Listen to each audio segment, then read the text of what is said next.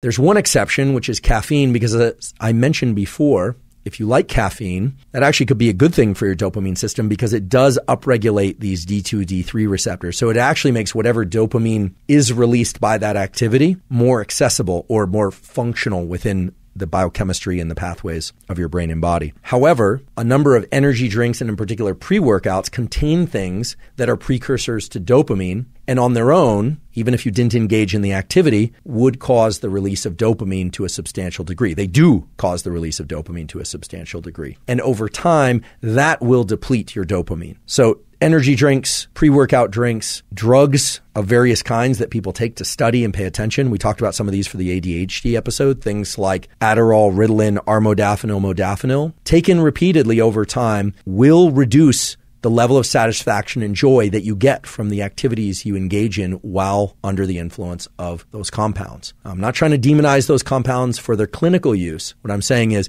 taking stimulants and then engaging in activities that you would like to continue to feel pleasureful is undercutting the process. And inevitably, it might not happen tomorrow, might not happen in a month, but inevitably you will have challenges with motivation and drive related to those activities.